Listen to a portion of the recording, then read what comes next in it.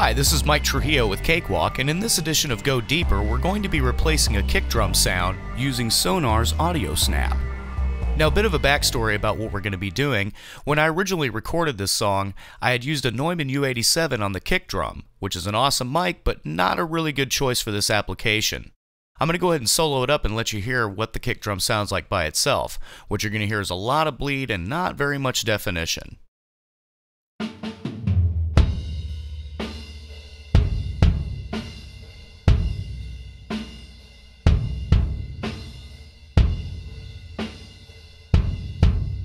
And as you can hear, the whole kit is bleeding in, which is not what I really wanted.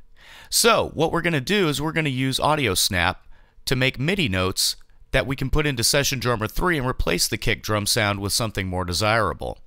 So first what I'm going to do is select the track, and then I'm going to open up the AudioSnap palette by choosing it from the toolbar. Now the first thing I'd like to do is go into the options and I'm going to change the MIDI note so that it corresponds to the note number for the kick drum in Session Drummer 3, which is C3. Now I also want to come over and check Vary with Pulse Level, because the amplitude of the wave is going to determine the velocity now of the notes that it produces. Now let's go ahead and turn on our transient markers. And here you can see that we have markers laid on the kick drums. Now here you'll find your threshold.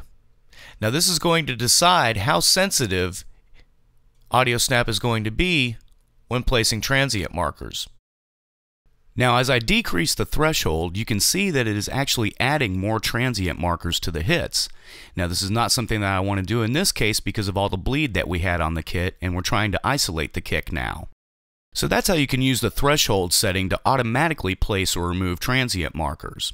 And in this case, the default setting of 75% worked out just fine for what we needed. Now you can also do this manually in the track view to add or replace transient markers. You can do this by right-clicking on any of the hit points and enabling or disabling the transient marker for that transient. So if you have something that showed up that you didn't want, you could take that out. Or if you had a ghosted note that didn't show up on a transient marker, you can lay one in so that it'll get triggered. Now that we have our transient markers in place, we're going to copy these transient markers as MIDI notes to the clipboard to be pasted into our MIDI track for Session Drummer 3. So now let's go ahead and open up the synth rack, and I'm going to select Session Drummer 3 as our engine. Now, you can use any plug that you want for this, but the kick drum sound that I'm looking for happens to be in Session Drummer 3. Let's go ahead and load up our kit. For this one, I'm going to be using the Steven Slate Sizzle Kit Wet 2. Now that we have our Session Drummer kit loaded, I'm going to move Session Drummer 3's MIDI track up under the original kick so that we can see them both together. Now I'm going to right click in the open area and choose paste from the edit menu. Another thing I want to do is set a start time of zero so that I know that it starts at the beginning of the song and everything will sync up correctly.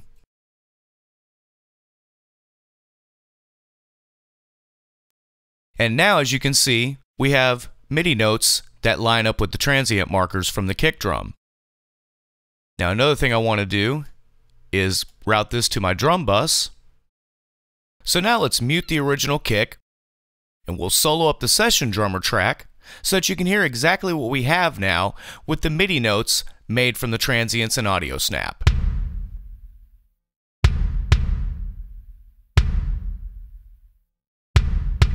Plenty of impact and no bleed from the rest of the kit, which is what I was looking for.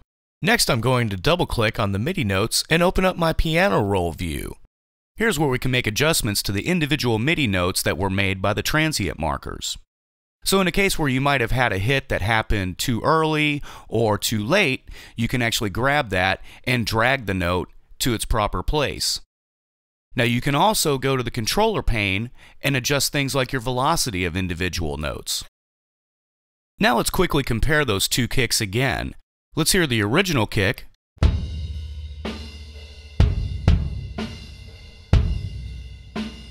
and the kick from Session Drummer.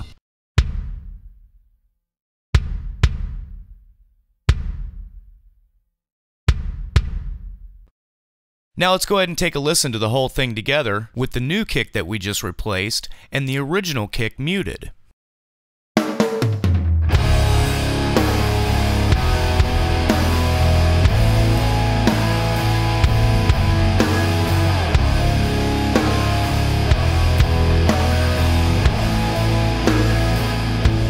So now we have a nice punchy kick drum with no bleed, and it sits really well in the mix and makes the heavy impact that I was looking for.